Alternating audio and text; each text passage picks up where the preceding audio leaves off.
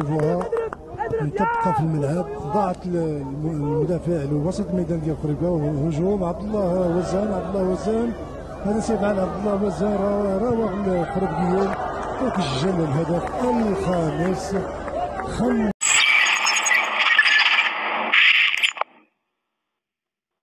السلام عليكم ورحمة الله تعالى وبركاته. في هذا الفيديو غادي نهضروا على أفضل موهبة مغربية صاعدة في الأراضي الهولندية. عبد الله وزان مهاجم نادي آياكس أمستردام الهولندي. الموهبة اللي نوضت الحرب بين الجامعة الملكية المغربية والاتحاد الهولندي.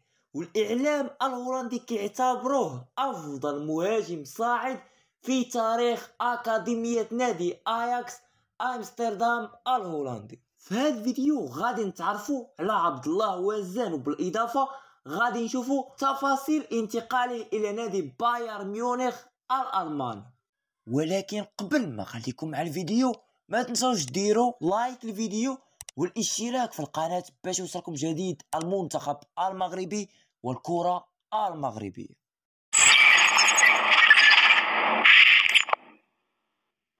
بدون مقدمات وندخلوا مباشرة في الموضوع ونتعرفوا على شكون هو عبد الله وزان عبد الله وزان العمر ديالو 15 سنة من أبوين مغاربة.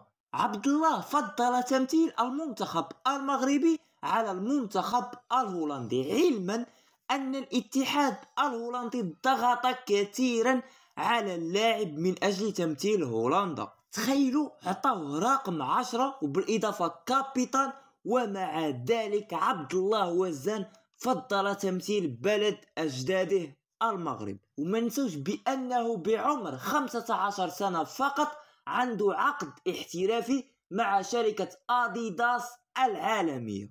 عبد الله وزان كيلعب في مركز مهاجم ولكن لاعب يقدر يلعب في جميع مراكز خط الهجوم. وزان مهاجم فتاك وما كيرحمش الشبكه وبالإضافة لاعب كويري ديال بصح في رجله وسريع جدا وكيماركي براسو برجلو كيما جات الكرة كيحطها في الشبكة وقادر يراوغ جوج ثلاثة واحد ويحطها في الشبكة. نقدروا نقولوا بأن عبد الله وزان مهاجم عصري متكامل وشخصيا عمرني شفت شي مهاجم داز في تاريخ المنتخب المغربي بهذا ال profile. اللي عند عبد الله وزان أما بالنسبة لانتقاله إلى بايرن ميونخ الألماني بالفعل اللاعب حاليا تحت أنظار إدارة البافاري.